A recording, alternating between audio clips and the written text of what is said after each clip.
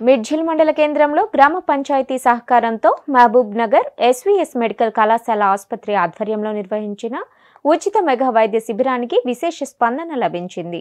ఈ వైద్య శిబిరాన్ని sarpanch Radhika Venkatareddy ZPTC Sasirekha Balu Badepalli market committee chairman Shyam Sundar Reddy PSCS chairman Srinivas Reddy MPTC Gouse tahsildar Srinivasulu MPDO Sailakshmi ప్రారంభించారు. మొత్తం ఆరు వందల మందికి ఉచిత వైద్య పరీక్షలు చేసినట్టు డాక్టర్లు తెలిపారు. అందులో యాభై ఎనిమిది మందికి కంటి శస్త్రచికిత్స అవసరం ఉన్నట్లు గుర్తించగా వారికి ఉచితంగా కంటి శస్త్రచికిత్స చేయిస్తామని ఎస్వీఎస్ ఆసుపత్రి RMO doctor Venugopal manager Basavaraj తెలిపారు. అవసరమైన వారికి ఉచితంగా మందులు పంపిణీ చేశామన్నారు.